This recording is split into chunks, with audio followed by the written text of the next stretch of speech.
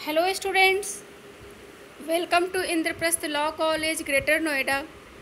I am Dr. Neelam Pandey. Dear students, today we will discuss a great personality named Chaudhary Charan Singh. So let's start. Chaudhary Charan Singh was born on 23 December 1902 in a rural peasant Jat family of village Noorpur Uttar Pradesh students Chaudhary Charan Singh का जन्म 23 December 1902 को उत्तर प्रदेश के नूरपुर गांव में एक Jat family में हुआ था Charan Singh entered politics as part of the independence movement motivated by Gandhi ji students Chaudhary Charan Singh ने भारतीय राजनीति में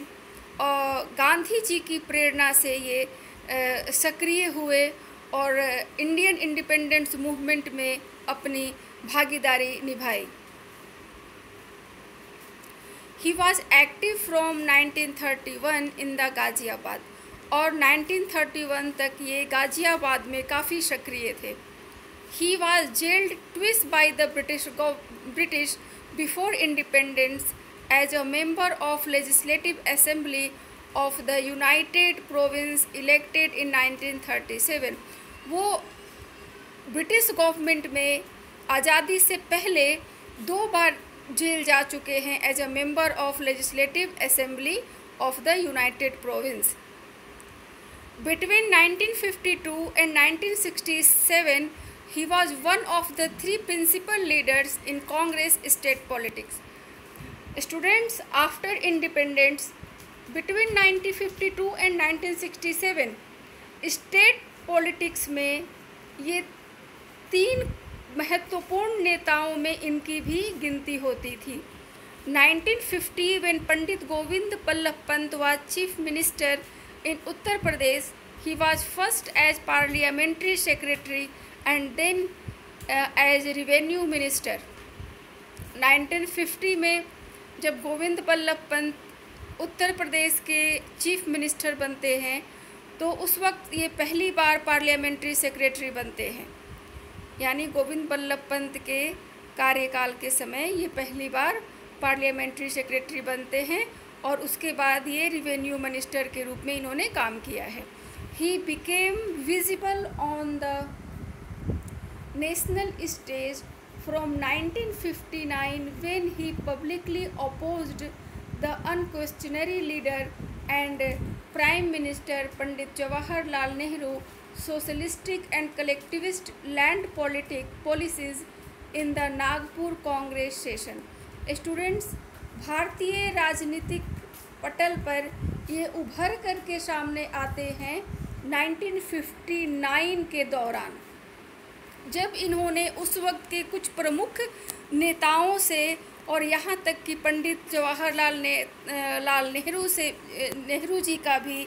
इन्होंने नागपुर के कांग्रेस अधिवेशन में लैंड पॉलिसी के का विरोध किया है Singh defected from the Congress on one April 1967 join the opposition party and became the first non Congress chief minister on Uttar Pradesh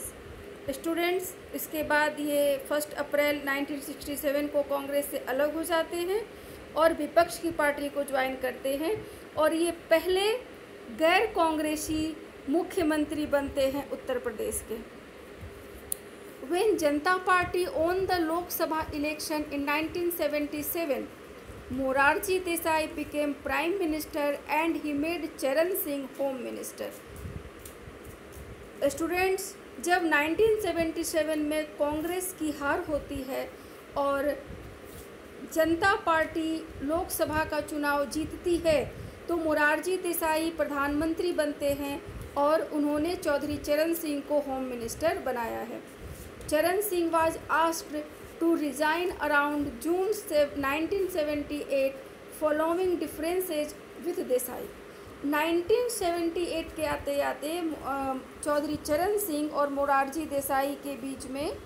कुछ अनबन शुरू हो जाता है जिससे इन्होंने रिजाइन दे दिया 1978 में होम मिनिस्टर के पोस्ट से Charan Singh was sworn in as prime minister on 28 July 1979 with outside support by Indira Gandhi उसके बाद जनता दल की सरकार गिर जाती है और इंदिरा गांधी के बाहरी सपोर्ट की बदौलत 28 जुलाई 1979 को चौधरी चरण सिंह प्रधानमंत्री पद की शपथ लेते हैं just before he was to prove his majority in Lok Sabha Indira Gandhi withdrew support to his government and his and on resigned on 20 August 1979 लेकिन लोकसभा में जब ये विश्वास मत प्रस्ताव पारित करना होता है विश्वास अपनी मेजोरिटी दिखानी होती है तो उस वक्त इंदिरा गांधी ने ए, के विड्रॉ की वजह से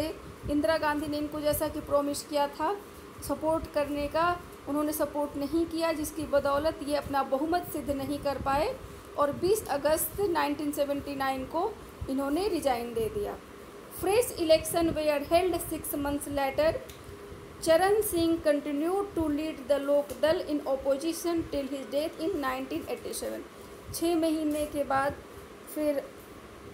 फ्रेश इलेक्शन होता है और चौधरी चरण सिंह अपनी मृत्यु पर्यंत यानी 1987 तक अपनी पार्टी लोक दल को लीड करते हैं students in our next video we will start uh, our fifth unit. Thank you.